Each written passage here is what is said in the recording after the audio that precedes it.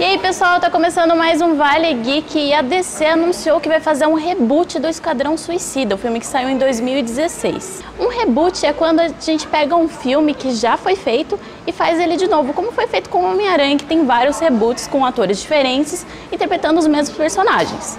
Esse filme saiu há apenas 4 anos, mas já vai ter um reboot feito pela mesma produtora. Ou seja, parece que eles não gostaram muito do resultado, assim como o público, que dividiu bastante as opiniões sobre esse filme. I love this guy.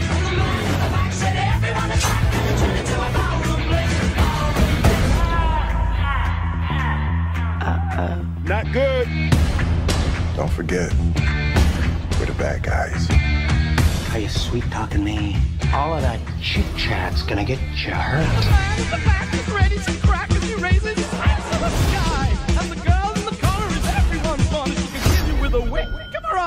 Eye.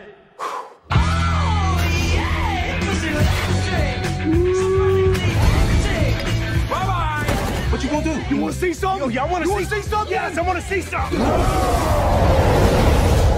Parece que esse filme novo do Esquadrão Suicida vai ser dirigido pelo James Gunn, que fez os dois primeiros Guardiões da Galáxia, o filme da Marvel. O James Gunn foi demitido da Marvel porque andou falando umas besteiras no Twitter e parece que foi contratado pela DC para fazer esse novo filme. Será que a gente vai conseguir ver a Alequina e o Coringa brilhando nesse filme novo? Vamos esperar, né?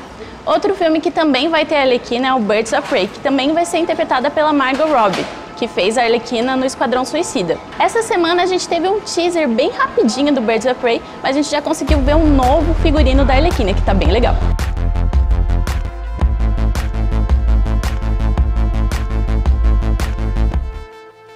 Nesse filme a gente vai também ver a Canário Negro, a Caçadora, a Cassandra Cain, que é tipo uma Batgirl, e vários outros personagens que não são conhecidos do público e ainda não foram adaptados para o cinema.